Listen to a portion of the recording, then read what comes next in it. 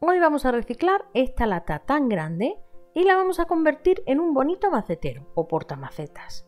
Si quieres ver cómo lo hago, quédate a ver el vídeo. Bienvenido, yo soy Mariby González y esto es El Rincón de Ángela.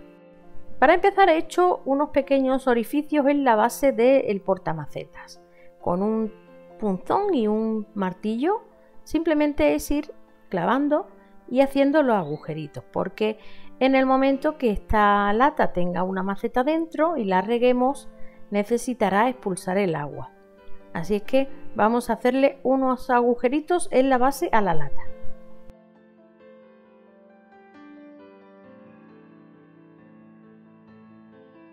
Como la parte interior de la lata tiene un recubrimiento, parece cerámico, no lo vamos a tocar, pero la parte exterior necesita una imprimación especial para metal y debe ser especial para metal porque eh, vamos a regar la maceta. Así es que aplicaremos una imprimación para metal en la superficie exterior de la lata. Si no tenéis imprimación especial para metal, podéis utilizar gesso, pero que sepáis que el gesso no va a proteger del óxido. Ya se ha secado la imprimación y ahora vamos a pintar nuestra lata con pintura a la tiza de color vainilla. Sin problema también puedes pintarla con pintura acrílica del color que más te guste. Yo he elegido el vainilla porque tiene un tono clarito de fondo, pero a la vez tiene un pelín de color. Recuerda que para hacer decoupage necesitamos un fondo claro, ya que si no se transparenta la servilleta o el papel y quedarían los colores del decoupage muy apagados. Para el decoupage vamos a utilizar esta lámina tan bonita de estilo vintage de papel soft o papel japonés. Este es un papel de arroz de tan solo 15 gramos por metro cuadrado, muy finita, una textura parecida a la de la servilleta pero mucho más resistente. Para principiantes lo recomiendo porque no se arruga y podéis moverlo y reposicionarlo si os equivocáis. Como veis se corta igual que una servilleta, con un pincel y un poquito de agua vamos marcando el contorno por donde queremos ir rompiendo la lámina. Tampoco tiene capas, no tenemos que separar las capas de detrás como en el caso de las servilletas, así que lo recomiendo para principiantes porque se aplica mucho más fácil que una servilleta.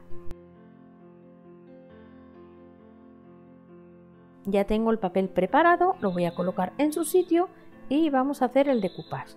Como siempre os digo, necesitamos un pincel ancho y plano para cubrir y planchar la servilleta a la vez. Vamos a ir aplicando el pegamento por encima del papel y siguiendo las hendiduras de la lata para que se vaya acomodando perfectamente a lo que es todo el contorno de las hendiduras. Podéis ver que voy marcando las pinceladas de forma lateral para que se acople perfectamente y no quede ningún hueco donde pueda colar el aire debe quedar completamente pegado. Y así vamos a ir decorando toda la lata, vamos a ir colocando cada uno de los papeles que hemos recortado. Por supuesto, si no tienes este tipo de papel, puedes utilizar también servilletas para este trabajo, no tenéis ningún problema. Ya se ha secado el decoupage y con este sello de caligrafía vamos a ir marcando toda la superficie de la lata. Esta tinta que yo utilizo no es tinta distress, no es tinta que se pueda rebajar con agua, con lo cual podemos barnizar sin ningún problema que la tinta no se va a emborronar. También podríais hacerlo con un sello y pintura acrílica, pero después tenéis que limpiar muy bien el sello. No sé si lo he dicho, la tinta es de color marrón o sepia. Si tenéis otro sello que os guste, que no sea de escritura, pues que puede ser craquelado o de flores, también lo podéis utilizar. Ahora vamos a utilizar un pincel de Starcir, que es uno que tiene las cerdas muy duras y apretadas, y un poquito de pintura color chocolate. Voy a dar por el borde, pero muy muy poquita pintura. Descargamos mucho el pincel para mm, crear una pequeña sombra para hacer el envejecido de la lata en la parte de arriba y en la parte de abajo también. Como podéis ver, mojo el pincel en la pintura y lo descargo muchísimo. Quito casi toda la pintura para que quede simplemente un pequeño rastro.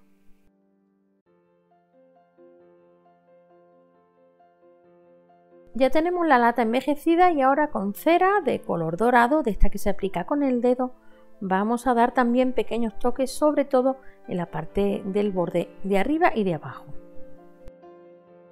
También aplicaré unos pequeños toques con este mismo dorado en las zonas donde no haya decoupage. Esto es opcional, voy a pegar una cinta de encaje en la parte de arriba y la parte de abajo de la lata. Pego la cinta antes de aplicar el barniz porque después aplicaremos el barniz también por encima de la cinta de encaje y así la protegeremos si le cae un poquito de agua cuando vayamos a regar la maceta. Ahora sí vamos a aplicar una capa de barniz importante que barnicéis muy bien la cinta de encaje. Una vez seco el barniz, aquí tenemos nuestro trabajo terminado un precioso portamacetas estilo vintage. Como siempre, espero que te haya gustado y si es así, déjame un comentario, dale a like y no olvides compartir este vídeo en tus redes sociales para que el canal siga creciendo. Recuerda que te dejo el enlace a todos los productos que utilizo en la cajita de información del vídeo. Y nada más, ya me despido, un beso enorme y nos vemos en el próximo vídeo. Hasta pronto amigos.